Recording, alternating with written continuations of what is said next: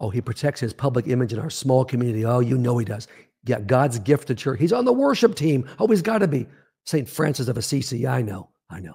Yeah. Mission. Oh, takes mission trips. Of course. People love him. Oh, yeah, I know. You know what? And she's pretty certain he's cheated. Almost certainly. She has no proof. Yeah, she's devastated and she's alone. Gary, that's what these groups are for. If people reach out to you, you need people that understand and that will, uh, and God will, of course, bind up your wounds too, but it's tough.